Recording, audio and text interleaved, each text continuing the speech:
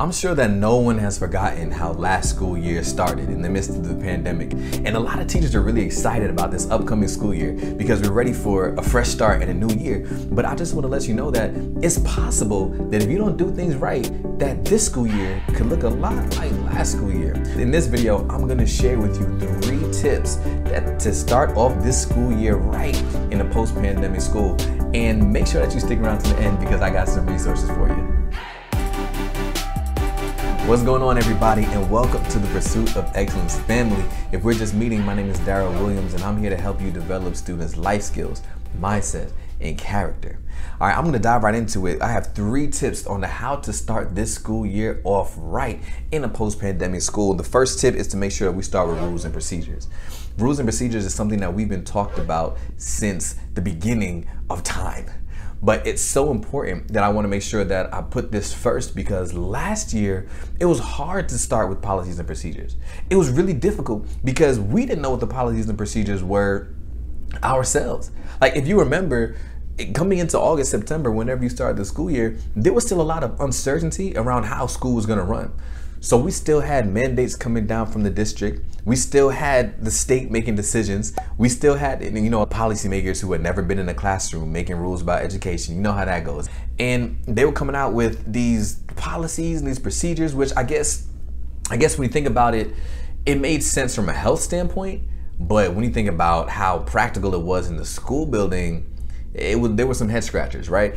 And we weren't really confident on to how the school year was gonna look. So since we weren't confident, it was hard to portray that to families and to students. So it was hard to come up with procedures on things that we had no idea of how to do. So this year, we have a better opportunity to start off the year strong and really nail down policies and procedures. Because even if this year still looks weird, like we still have some people that are going to be virtual, some eh, some students are re-entering into the building, some are still doing some hybrid situations. So even though this year is can still look potentially weird, I think that we're in a better position to navigate these things so we can really get out ahead of it and not have to wait for things to arise to come up with a procedure on how to deal with it. But now we've seen some things, we have a little bit of experience, we can put some procedures into place. And it's really hard to think about everything. It's really hard to think about all the procedures that you will need in your classroom. So I linked down below an article that I found written by one Miss Janelle Cox, and it is awesome. It really gives you a lot of ideas to think about what policies I'm gonna have in my classroom. It's a checklist of questions that you can ask yourself to develop policies for your classroom. And I'm not gonna go through the whole article, but a few of my favorite things that she mentioned are to determine what your attention getters are gonna be like how am I going to get the class's attention when they're all doing independent work or where they're all working on something and I need their attention really quickly? Uh, what is that signal? What is that sign going to be? Another thing that I really like is to practice what room transitions look like. How are we going to line up to go to lunch? How are we going to transition to electives or specials? Or how are we even going to move about the classroom from um, this portion of the lesson to that portion of the lesson or from this workspace to that workspace? So really student movement, you know, what is that going to look like? And another one that I really like is to teach students what to do if they finish work early. So if I finish my work early, you know, do I flick the person next to me? You know, do I get up and wander around the classroom or do you have something for me to do? And what this really does by setting policies and procedures ahead of time is it's going to eliminate a lot of the excuses. It's going to eliminate a lot of the misbehaviors. It's going to eliminate a lot of confusion and really help students just be more comfortable in your classroom. And the reason why procedures are so important is because when we don't have procedures, what essentially we're saying is we're allowing for students to decide what is best for them in that moment. Like we're allowing students as a situation arises in their six, seven, eight year old minds or 10, 11, 12 year old minds, we're allowing them to say, hmm, I'm not sure what to do in this moment, but I think I should do this. And a lot of times, what they choose and what the teachers would prefer to see is not aligned. So, by thinking through a lot of these situations that could potentially arise and putting policies and procedures in place, you'll save yourself a lot of headache and be able to maximize instructional time throughout the school year. And my pro tip before I get to tip number two, my pro tip on this one is to really I want you to go through the day in the life of a student living in your classroom. Like I want you to exit your classroom and to walk back into it as if you're a student on the first day and write down the questions that you need to answer with every move that you make. So when you approach the door, where am I going to sit? Right? That's question number one. Once you get to your seat, uh, what do I do with my belongings? Am I going to put it under my desk? Is there somewhere in the back for me to put it? You know, that's a question that you have to answer. And you have to think about student movement. If I have to go to the bathroom, what should I do? So these are the ways that you can start to create the policies and procedures in your classroom. I really want you to take whatever time it takes, two, three hours to just go through the day in your class as a student and really, really see what it is um, that they would come up with so that you can create procedures to guide them and how to maneuver in your classroom. Tip number two is to build relationships. Relationship building is important at any time in the school year, but especially as we start off the year. And last year, this might be something that we didn't get a chance to do as much as we wanted to because we had to focus on a lot of other things, like I mentioned earlier. So this year, don't make that same mistake. We still have to focus on a lot of other things, but make sure that you prioritize building relationships. Because when you build relationships with students, especially in a year like this, building relationships builds trust. And when they build trust, then you can work together towards a common vision that you have. That's really hard to do with students who don't like or trust you. So make sure that you are focusing in on building relationships. And I know that last year looked a little bit weird as we were trying to navigate whether it was virtual or we were in person but just with different restrictions. But now we're a lot more familiar with navigating those spaces. So we can definitely build relationships better than we did last year.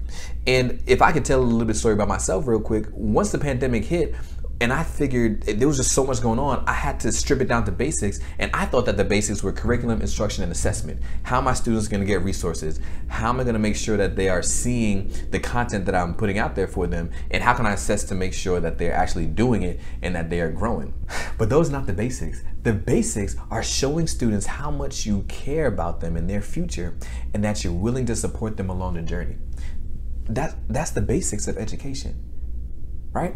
And building relationships fits so cleanly into them because it shows students how much I care about you, how much I love you, and that you can trust me. And together we're going to be along this journey. Even if it's not an easy one, I'm there with you by your side. So building relationships is super, super important. And tip number three, this is my favorite to really make sure that we start this year off right. We've got to set smarter goals and you are familiar with goal setting, you probably heard of SMART goals before. SMART-er goals is a little bit different, but we've got to set smarter goals. See, last year we may not have started off with setting smarter goals because we were focused on how to maneuver in the pandemic. And this year, we could fall into that same trap because we're focusing so much on closing the achievement gap that we might feel like we need to dive directly into content and we don't have time for some of this extra stuff. But I want to urge you to remember that you can't focus on closing the achievement gap without one of the main components that are necessary to close that gap, and that's empowering students. I'm gonna put it like this. Uh, the other day, my wife asked me to make some rice. And I mean, we have a rice cooker, so that's that's a simple task, right? I haven't made rice on the stove since I was like 12.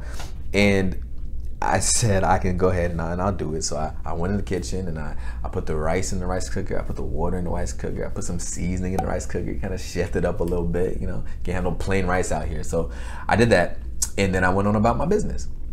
And then a couple of, I'm gonna say about an hour or so later, my wife came to me and she was like, "Then I asked you to make the rice." I was like, "Whoa, whoa, whoa, whoa, whoa, coming down, coming in kind of hot." Like you know when you have that confidence because you know you did the thing. Like, like listen, relax. I made the rice. It's okay. And she's like, no, you didn't. I was like, yo, I definitely, I definitely made the rice. Like, what do you mean? So both of us go in the kitchen together, and when we get there, um, I see the rice cooker. I do. I see the rice cooker, and when I opened it, inside was just this swelled, soggy rice that had been sitting in cold water and seasoning because I never turned it on. And some of you see where I'm going with this. Listen, we're trying to focus on closing the achievement gap. And we're, you know, buying new curriculums. We're focusing on getting resources. Maybe some of our schools are employing some more tutors or facilitators because we're really trying to focus in on how am I going to close this achievement gap because we care about students and we want this gap to close. And all these ingredients are nice and, and, and necessary.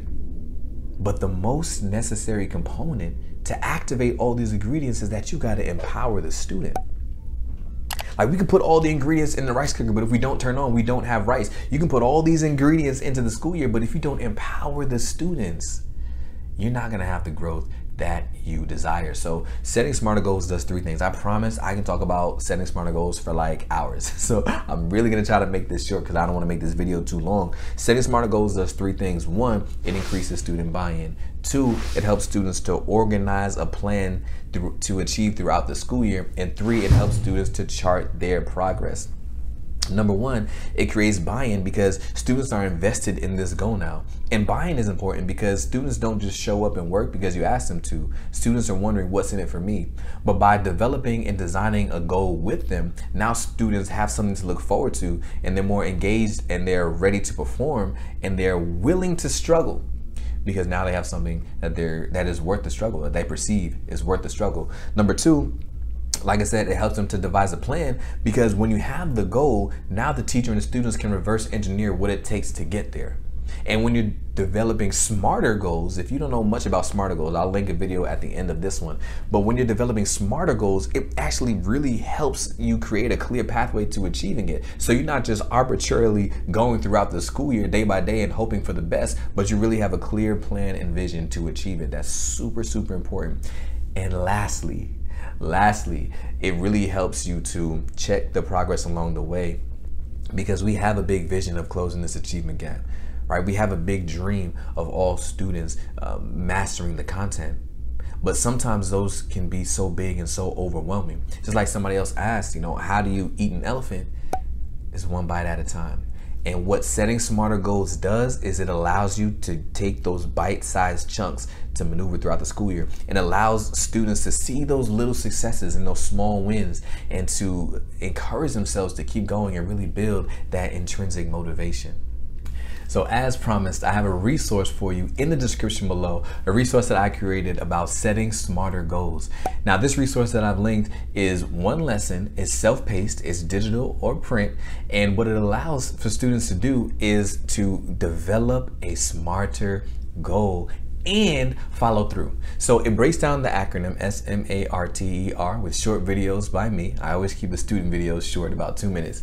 And then they answer questions related to the videos that really helps them develop what a smarter goal is, but it gets really specific about them and their goals. So go ahead and check it out because I think it's something that your students can really, really, really benefit from. Honestly, it's probably the thing that I'm most proud of creating, and I really uh, think that your students will benefit from it. There's also a freebie linked in the description below that is just a one pager that helps students develop their thoughts so that they can create a smarter goal. So go ahead and check that out. It's also in the description below. Both of the resources are really excellent, especially for those of us who are invested in goal setting. It's an awesome introduction to smarter goals.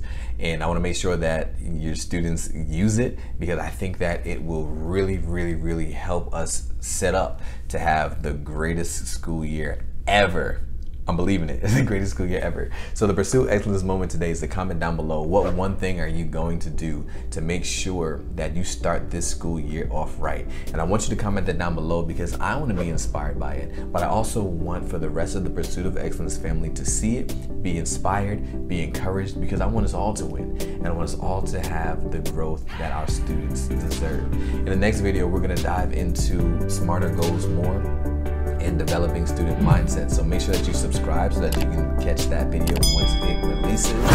And in the meantime, I'd like for you to check out this video right here because it dives all the way into setting smarter goals, especially if that's new to you. It really develops it. And then this video down here is something I also think you really